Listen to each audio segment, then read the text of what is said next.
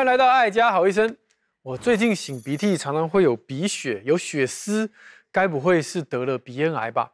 很多人对于鼻咽癌的这样一个疾病都有莫名的恐惧，因为它躲在我们鼻子里面，你也看不到，只能靠擤鼻涕啊，或者是靠说嗯最近有点鼻塞啊等等这些生活的感觉去来猜测。问题是过敏性鼻炎啊，或者是一般的这种鼻息肉，也有可能会鼻塞，导致人心惶惶。尤其如果身边有亲朋好友得到鼻咽癌的话，所以我们今天就来聊聊鼻咽癌这个疾病，邀请到的是耳鼻喉科滕宣德医师以及吕俊佑牧师，我们掌声欢迎他们。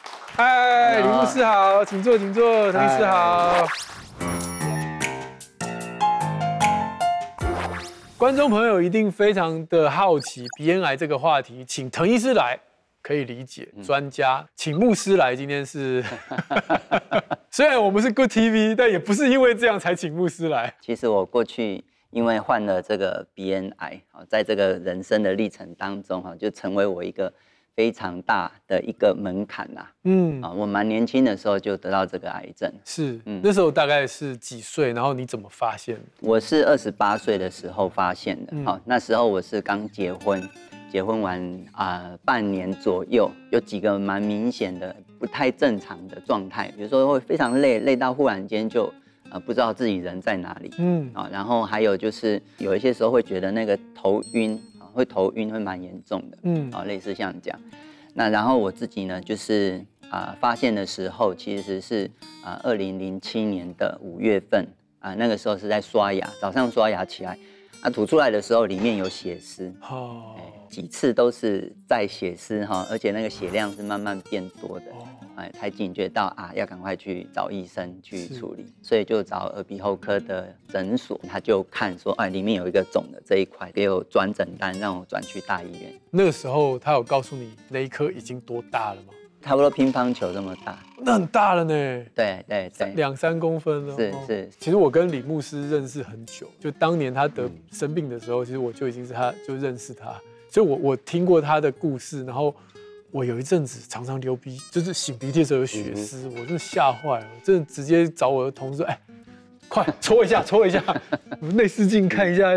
他而且他不是鼻血，他就是擤鼻涕有血丝，就像他他咳嗽有有有那个痰有血丝那种感觉这常见吗？这样的一个状态？这个到底我们讲的说痰中带血，痰中带血，咳痰带血，这个痰是哪里来？嗯因为我们中文就讲一个痰，对，可是痰是哪里来的痰？嗯这一点就是都有不一样。嗯如果是咳咳咳，然后觉得好像从这个好深的地方咳咳咳出来，那我们可能真的好像胸腔应该多查一点。嗯嗯，可是我想李牧师并刚才提到，他并不是这样子的一个症状。那清喉咙的动作又有分哦，有的时候是喉咙痒痒怪怪的而已，有的时候其实我这边就是直接粗鲁一点的动作，有的人会做一个这个动作。对，这其实我们都知道，在鼻涕在倒吸的对动作。实际上，我们讲的鼻涕倒流带血嗯嗯，这件事情是我们的关键。鼻涕倒流带血。今天的节目大家不记得前面后面就记得这句话，就是要去看耳鼻喉科啊。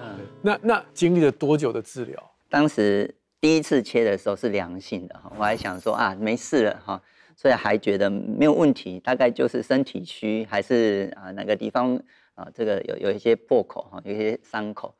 但是因为两个礼拜后，因为伤口愈合之后，在两个礼拜之后，它又开始流了，好而且量比之前的还要再多。医生告诉我说啊，可能切的不够深啊，然后这一次就确定就是啊恶性的。所以真的会有这种状况吗？它有的时候躲在比较深层，它有时候常常是在侵犯黏膜下层，所以如果说拿到表面的黏膜的话，的确不足以诊断这样子。嗯，那我们都知道鼻咽癌不是化疗嘛，几乎都是放放射疗。，对，主要就是放射线治疗，我还记得是三十九次。哦，好多次，对，呃，然后化疗是八次。所以也是要化疗的。的确，早期是用放射治疗而已，后来发现这个有些病人的控制率不够好，所以后来觉得要一再加强、一再加强放射的结果是制造了太多的放射后的后遗症。哦，所以后来希望又有达到它的好处，就是治疗加强的效果，但是又不要副作用一直增加放射线，所以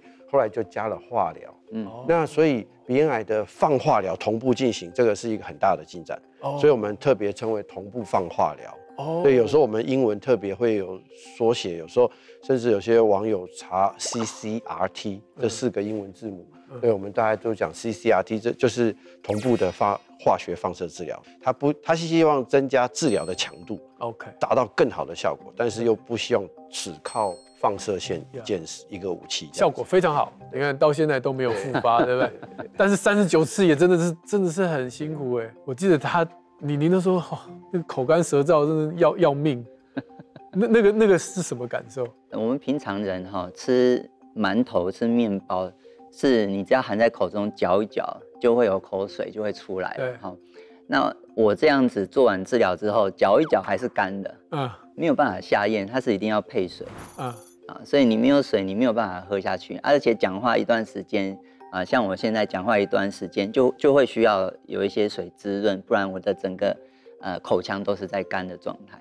治疗完成之后，有没有哪一些医生叮咛你做的事情？有一些定期的运动，嗯嗯啊，像游泳，好、嗯那或是出去啊这个慢跑啊，或者是打打球，那体力就会再重新恢复。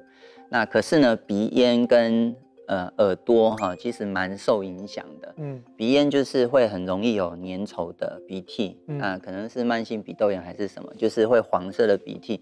那医生是交代这种情况下，你用洗鼻器啊，把这个鼻涕洗出来会比较舒服。其实有大概两三年左右的时间都是这么严重，啊，嗯我就一直啊早上洗一次，要晚上洗。那滕医师像像就是还需要追踪吗？还是不用了？前面两年可能追踪的很频繁，呃，很很常回去，然后也许三年到五年就稍微拉长一点间隔，然后到了五年以后，可能再进一步再拉拉开间隔。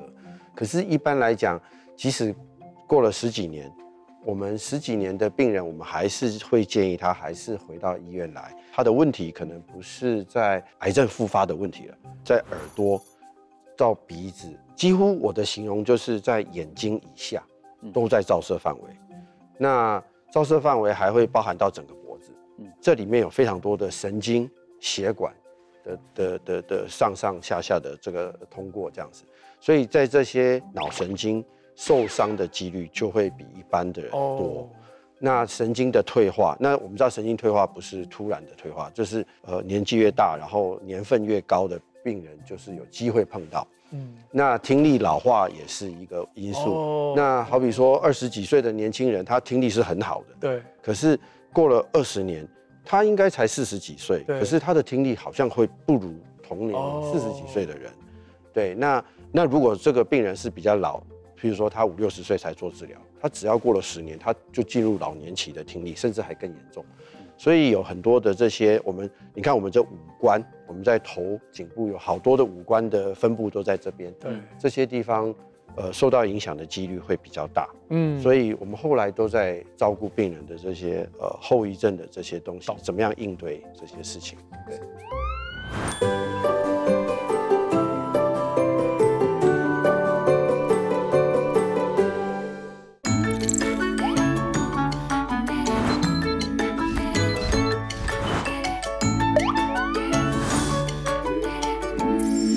刚才听了李牧师的分享之后，大家大概对鼻咽癌有一点认知，但是对于鼻咽在哪里，还有很多人不知道。所以滕医师跟我们分享一下鼻咽在哪里，那个癌细胞长在哪里。这是一个剖面图哈、我们头的剖面图，鼻咽的位置就在这个位置。那怎么想呢？鼻子最鼻子的后面最后面，嗯那咽的最上面。OK，哎，西方的世界，尤其好比说白人的国家里面，他们是很少鼻咽癌的。哦，对，哦那这个是我们这个中国的广东省是最多的。那客家族群可是毕竟都是好像同心圆的这样分布，就是呃广东省最高，然后周围的呃就少一点，然后再对远一点又再少一点，越远又越少。那我们知道我们很多东南亚地区，哦，呃，其实也很多都是广东、福建的呃早年的移民移出去的华人对，对，他们的鼻咽癌也并不少，因为我们华人社会的这个关系，其他地方没有华人的地方也还是有鼻咽癌，可是还是以亚洲多一点，西欧啊、美国这些地方都是很少的。所以基因占了很大的因素喽。有基因的因素，那还有一个最大的问题，其实它是 EB 病毒。很多讲到鼻咽癌，呃，大家都会呃查到查询到这个 EB virus、EB 病毒的这个角色。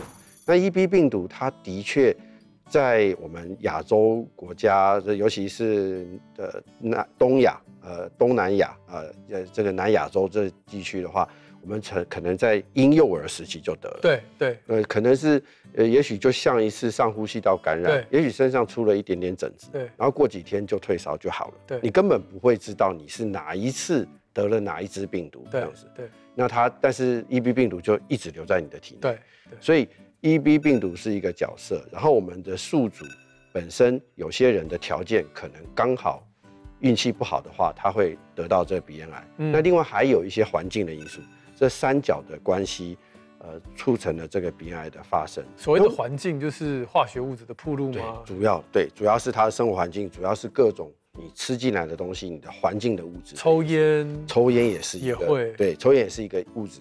嗯只是不如其他的，好比说肺癌啦，好比说这个呃口腔癌那么的重，但是在鼻咽癌，抽烟仍然有一点点的角色。那个地方有什么特别呢？因为感觉就是一堆黏膜啊，就是的为什么不长在鼻子？为什么不长在后面？那、就是长在这个地方。没，错，EB 病毒我们是不晓得为什么它就会常常的留在这个位置，嗯。这个部位呃有很多的淋巴组织，是。对，因为它一旦呃进入人体以后，它就是呃聚集在我们一些神经组织是和淋巴组织上面，所以这个部位也许是有一些特别的条件，它就呃聚集在那边，然后久而久之，也许这个宿主的环境条件刚好让它变成了变变成了鼻咽癌细胞，然后它免疫力又没办法把它清掉，嗯。然后它就呃终于发病对这样，简单讲就是假假如，然后当然不是说一定发生，但是是广东的后代啊，嗯。这不可能是客家人、广东人的这个对。后代，嗯。带这个基因，然后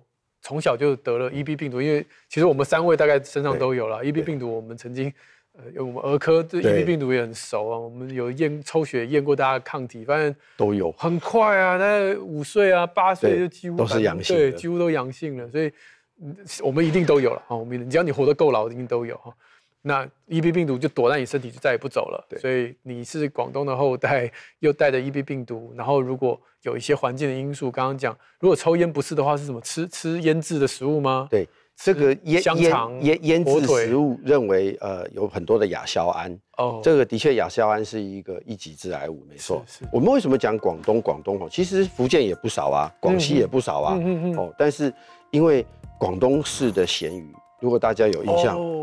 他们的咸鱼跟我们闽南的咸鱼吊在屋檐底下风干的不一样，它是腌在桶子里面的。嗯是湿的，呃，或者像是呃越南，也许甚至是泰国都有一些这样子的类似的做法，他们是湿的、腌的，所以有些就是有一个呃一个发酵的臭味，哦，对，那样子的亚硝胺含量非常的高，是是，对，那他们又是从小铺路，所以这三个因素所造成。李牧师，你那时候准备读读功课的时候，是吃不健康的食物吗？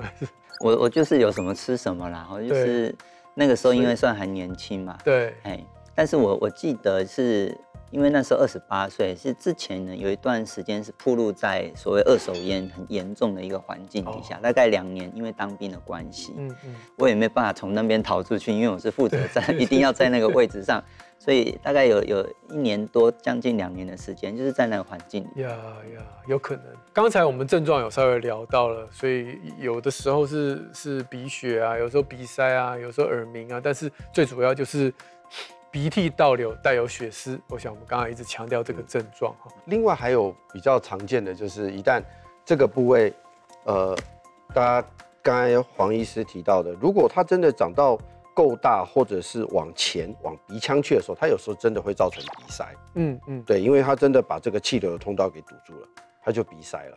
那只是说这种鼻塞，我们呃不太容易很巧合是两侧都塞住，我们通常应该是某一侧塞住。哦，然后过敏的人也常常会右边塞，呃早上，然后到了晚上换左边塞，我们会换来换去的。嗯，那肿瘤不会早上、下午、晚上跑来跑去，就同一边一直塞，还是要检查一下。然后它如果这个位置，我们其实看大家看得到这头颅的底部，所以有些人会影响到头颅底部下来的神经，脑神经对，呃，颅神经的这个影响。那可能有的人会影响到眼睛的双眼的对焦，哦有些人会影响到这个舌头的灵活度。对它舌下神经如果受影响的话，它运动咬字就会不清楚。对对，有些这些问题。那也许有人影响到三叉神经，对这脸就会麻。哦对，那还有它，因为这个是剖面图，所以没有往侧边看。侧边它如果影响到耳咽管，它常常会造成中耳的积水，就是产生闷塞的感觉。哦对，所以小儿科有很多是因为急性中耳炎之后造成的中耳积水，对可是这常常是阻塞了这个耳咽管之后产生的一个对，所以。成年人中耳一直积水就很怪了嘛。对成人不应该儿童对不对？抵抗力稍微差一点。对。但是成年人整天中耳积水，这对个应该要查一下是不是对，这边塞。没。错，一定所以听起来这症状，除了刚才讲到的这个鼻涕倒流有血之外，然后单侧的鼻塞之外，还有一对奇怪怪，对。可能会误以为是中风啊，误以为是要看眼科的啦。有的会去看到神经科，看到眼科。哦哦这真的是五花八门的。那还有一个很重要的，就是因为它其实有蛮高的比例，它会转移到颈部的淋巴结，嗯嗯嗯嗯。所以颈部有不明的淋巴肿块，嗯也是要检查的。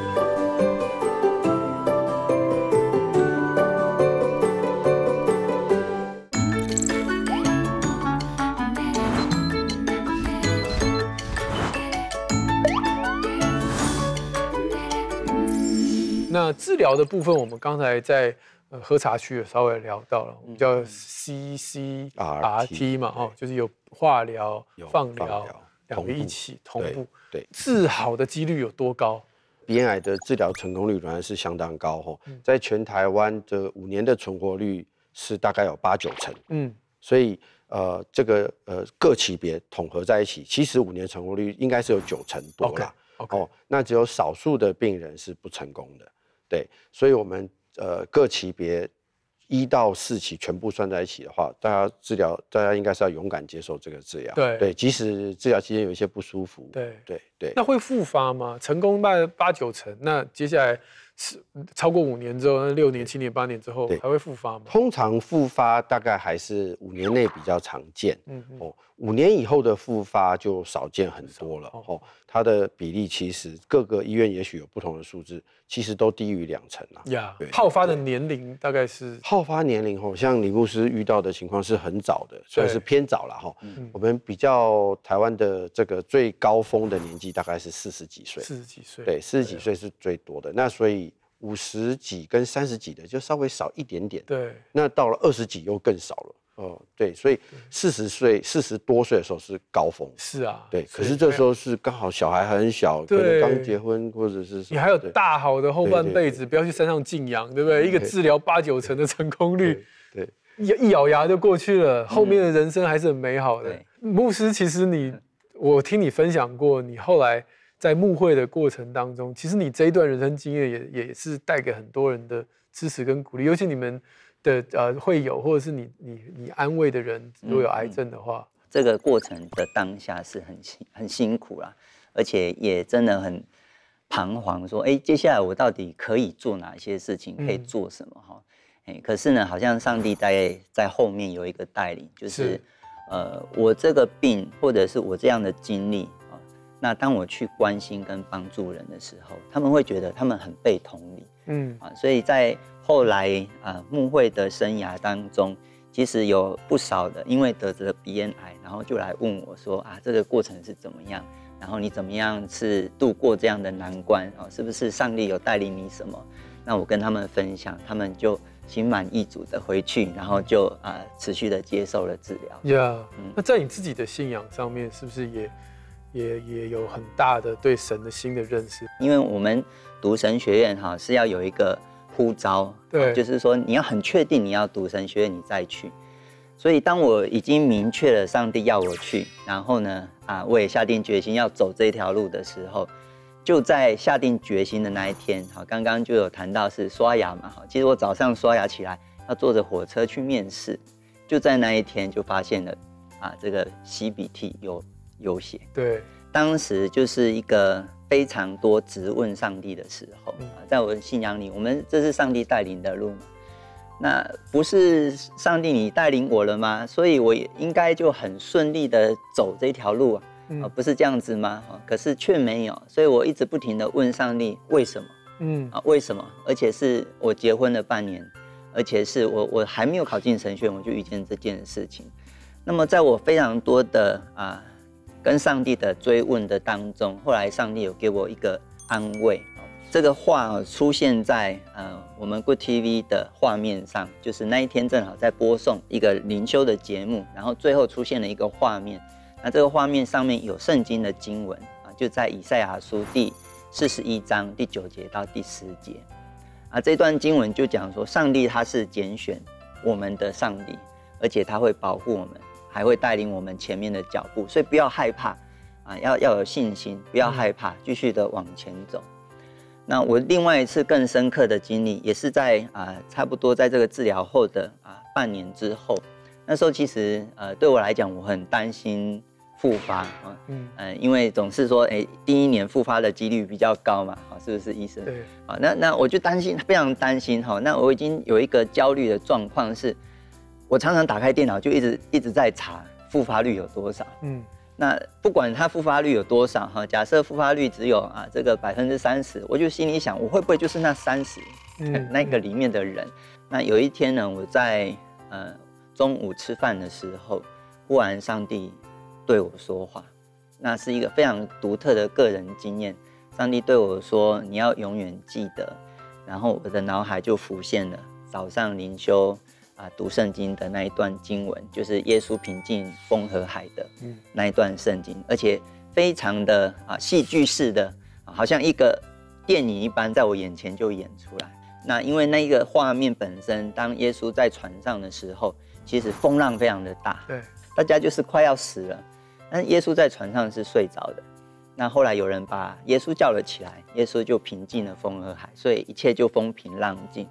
在那个当下，这个画面哈，我在呃看见的画面的本身，就是呢，呃，耶稣转过身来，呃，在当中事实上是呃经文里面是对着里面的人啊，但是是好像对着我一样，就告诉我说，你还在怕什么？啊，那我心里很清楚知道，只要耶稣作证，他在我的船上，我不需要害怕。嗯所以这就成为我后来所有在面对人生啊各种挑战跟困难的时候，一个很重要的基础跟力量啊，知道耶稣在我船上，我不用担心。呀所以今天真的是借由李牧师跟我们的分享，以及滕医师今天跟我们认识整个鼻咽癌发生的原因跟治疗。其实大家虽然知识可以让我们有有一个目标，可是陪着你走这条路的只有上帝给你的信心跟盼望。嗯希望今天这一集能够带给大家很多的收获，也谢谢两位专家，谢谢。谢谢。今天虽然我们聊的只是鼻咽癌，但是从李牧师的分享，让我们也看到了在任何的疾病跟病痛当中，甚至是在很多家庭的变故、职场上面的风暴下，我们记得以赛亚书四十一章这段神的话，希望也能够成为你的安慰。你不要害怕，因为上帝与你同在；不要惊慌，因为上帝会是你的神。希望大家今天这集很有收获。喜欢我们的节目，可以订阅“爱家好医生”的脸书，在底下留言告诉我们你想要听的主题，也可以订阅“爱家好医生”的 YouTube channel，看我们过往制作的精彩内容。大家平安，我们下次再见喽，拜拜。